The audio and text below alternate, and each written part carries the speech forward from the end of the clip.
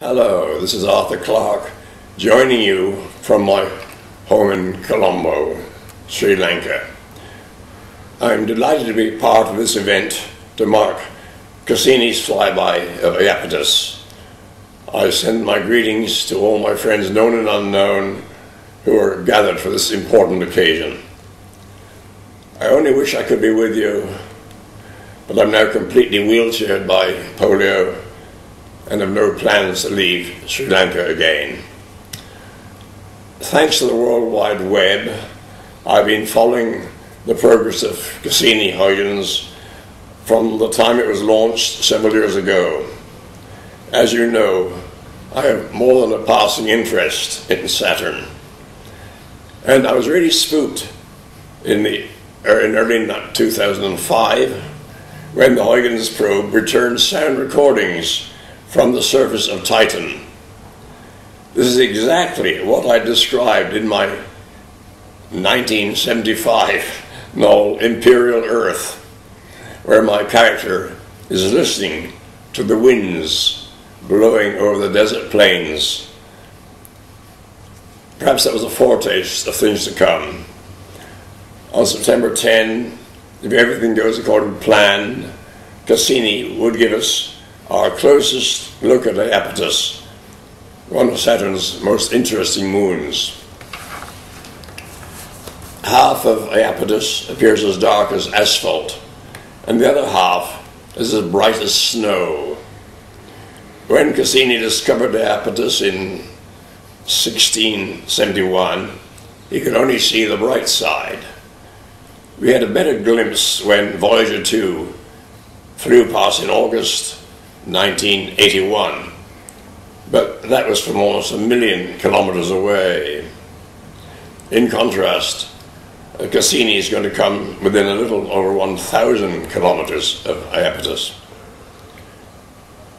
This is a particularly exciting moment for fans of 2001, A Space Odyssey, because that's where the lone astronaut, Dave Bowman, discovers the Saturn monolith, which turns out be, uh, to be a gateway to the stars. Chapter 35 in the novel is titled The Eye of Iapetus, and it contains this passage.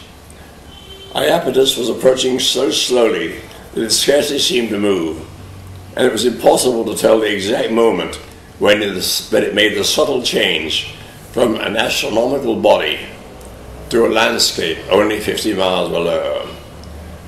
The faithful Verniers gave their last spurts of thrust, then closed down forever.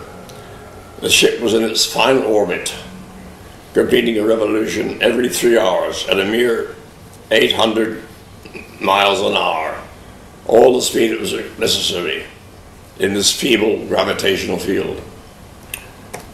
More than 40 years later, I can't remember why I placed the Saturn monolith on Iapetus uh, at that time in the early days of the space age, Earth based telescopes couldn't show any details of this celestial body. But I've always had this strange fascination for Saturn and its family of moons. By the way, that family has been growing at a very impressive rate. When Cassini was launched, we knew of only 18 moons. I understand it's now 60 and counting uh, I can't resist the temptation to say, my God is full of moons. But in the movie, Stanley Kubrick decided to place all actions on Jupiter, uh, not Saturn. Why this change? Well, for one thing, it made a more space, more straightforward storyline. And more important, the special effects department couldn't produce a Saturn that Stanley found convincing. That was just as well, because if they had done so, the movie would have been badly dated by the Voyager missions, which showed Saturn's rings to be far more implausible than anyone had ever imagined. I've seen enough instances where nature imitates art, so I'm going to keep my fingers crossed with what Cassini discovers at the Iapetus. I want to thank everyone associated with this mission and the overall project, It may lack the glamour of manned spaceflight, but science projects are tremendously important for our understanding of the solar system.